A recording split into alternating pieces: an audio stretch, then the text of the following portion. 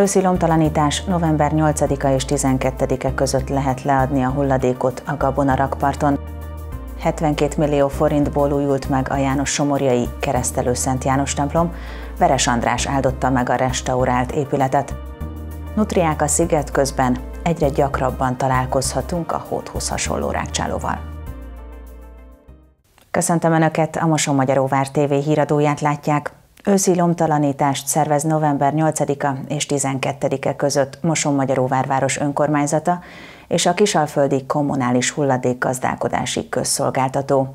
Kedtől szombatig rendhagyó, hosszabbított nyitvatartással működik a Gabona rakparton található hulladékudvar. A hulladék elhelyezéséhez lakcímkártya bemutatása szükséges. Gyűlik a hulladék a gabonarakparton található hulladékudvarban. Sokan már most megkezdték az őszi lomtalanítást. Volt, aki kertészeti hulladékot hozott, más építési törmeléket, Moson Magyaróvár város önkormányzata és a Kishalföldi Hulladékgazdálkodási Kft. már harmadik éve szervezi meg a lomtalanítást a hulladékudvarban, amit évente két alkalommal, tavasszal és ősszel tartanak. Azt gondolom, hogy rendezettebb körülmények közé sikerült ezt beszorítanunk, így a mennyisége is egy picit visszaesett ahhoz képest, ami korábban volt, bár én azt szakmailag amúgy sem tartottam túlságosan jónak, hogy a város bizonyos közterületein sokszor áldatlan állapotok uralkodtak, ott nyilván ezeket a szelektivitásokat nem is lehetett megoldani. Itt jóval rendezettebb keretek között tud ez lezajlani, illetve nyilván ehhez hozzátartozik az is, hogy a mennyisége talán azért is kevesebb, hiszen a hulladékudvar azért szinte egész évben fogadja a látogatókat. A hulladékudvar kedden és csütörtökön 9 órától 17 óráig, illetve szombaton 9-től 13 óráig tart nyitva. Az őszi lomtalanítás idején november 8-a és 12-e között a nyitvatartási időn felül hosszabbított nyitvatartással működnek, így a keddi, csütörtöki és szombati nyitvatartási idő mellett szerdán és pénteken 10 órától 16 óráig tart nyitva a hulladékudvar. Lakcímkártyát a kollégáink kérnek, tehát hogy beazonosítható legyen, hogy óvári lakosok hozzák a hulladékot. Az ömlesztve hozott hulladékokat viszont a kollégáink segítségével itt szelektáljuk. Tehát a nagydarabos hulladékok, szelektív hulladékok, illetve egyéb más nagydarabos hulladékok vonatkozásában szétválogatásra kerülnek.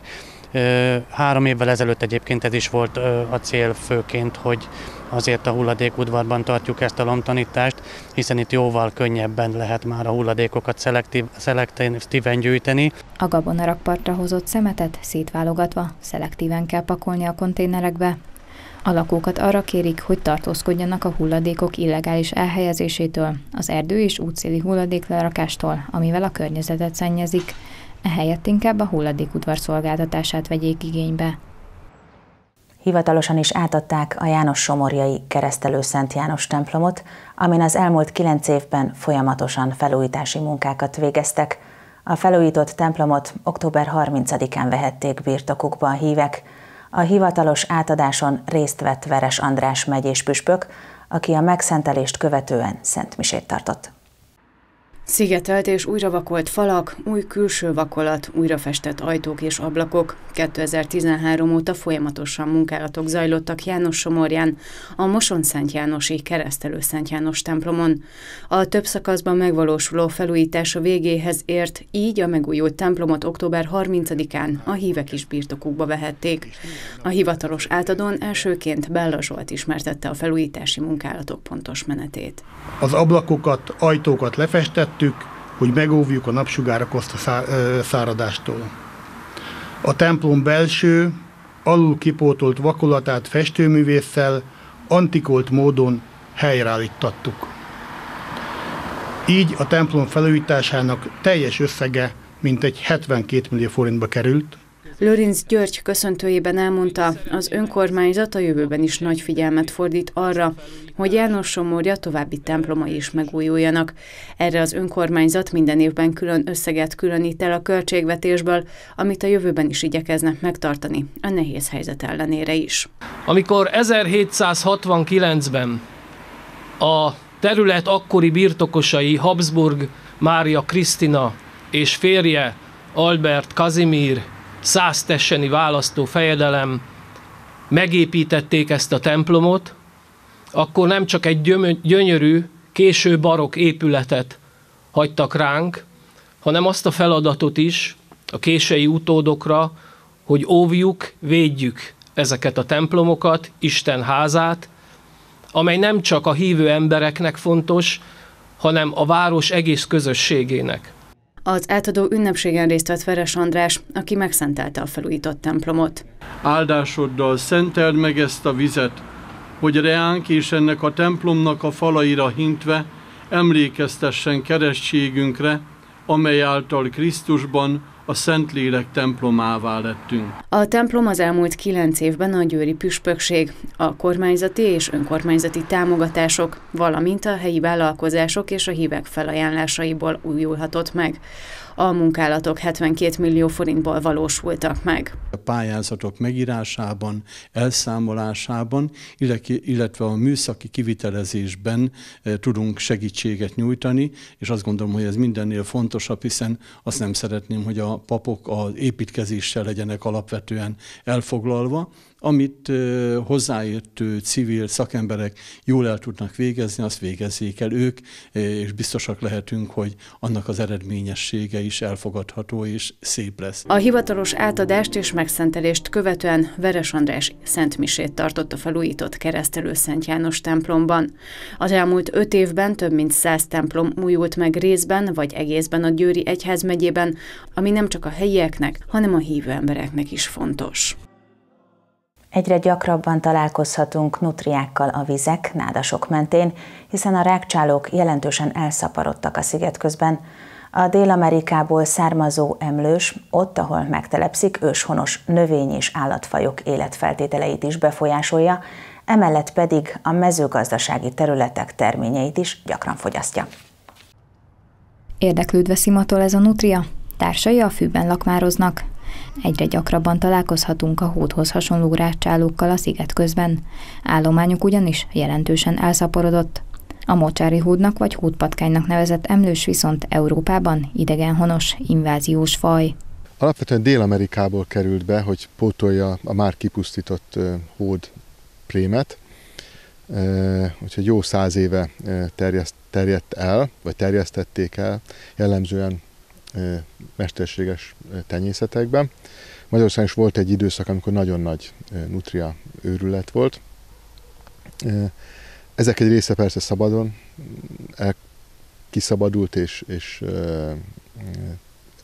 túlélte egyre kevésbé hideg teleket. A nutria főként a vizek, nádasok mentén telepedik le. Jó alkalmazkodó képességének köszönhetően könnyen elszaporodik.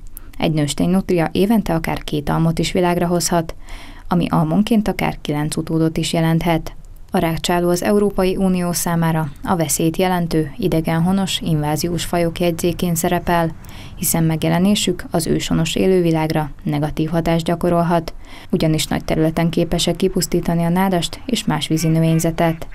Máshol akár gazdasági kárt is okoz, hiszen előszeretettel fogyasztja a mezőgazdasági területek terményeit, Fűszva Zoltán elmondta, a sziget közben élő nutriák egyenlőre nem okoznak károkat.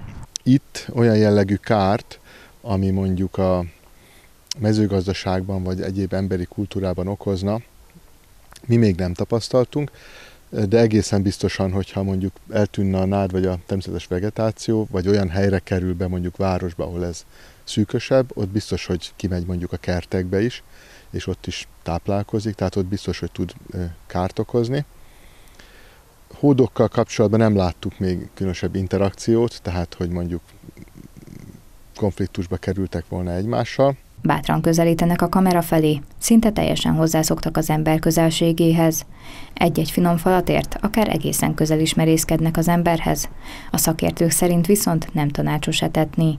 Nem szorul rá az etetésre, tehát hogy bőven talál még akár a Moson-Magyaróvári Lajta is táplálékot magának. Ezen állományok nagyon jól önszabályozók, tehát hogyha nincs elég táplálék, akkor odébb fognak menni. Tehát nem fognak túlszaporodni, illetve mindig van valami olyan dolog, ami szabályozza az állományukat. A nutria a növények fogyasztása mellett, mint ahogy a felvételen is látszik, alkalmanként kagylót is eszik. A rákcsálót gyakran összetévesztik a hóddal, Hátsó lábain akár csak a hódnak úszóhártya található, de amíg a hód súlya akár a 30 kg-ot is elérheti, a nutria legfeljebb 10-15 kg.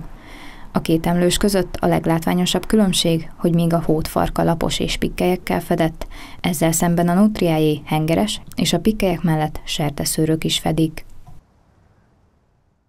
A Magyar Kultúra Napján 2023. január 22-én ismét átadja Moson-Magyaróvárváros önkormányzata a Moson-Magyaróvárváros kultúrájáért díjat.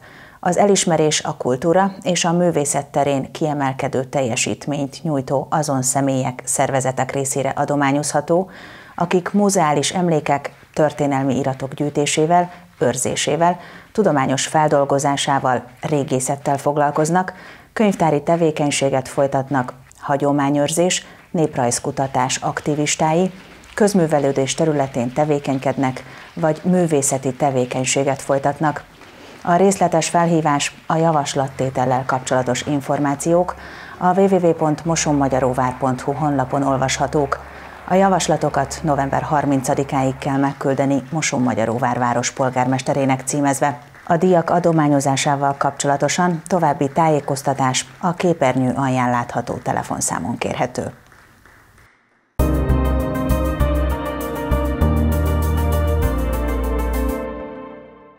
A férfi egyetemi bajnokság nyugati csoportjában az Óbudai Egyetem Kandó SC-t fogadta a Moson-Magyaróvár Unigyőr. A csapatok október 24-én léptek pályára a Bauer Rudolf Egyetemi Sportcsarnokban. A mérkőzés eredménye 95-86 lett a Moson-Magyaróvár javára. A csapat edzője Laki Tibor elmondta, nehezebben győztek, mint ahogy azt előzetesen várták, de sokat tanultak a meccsből.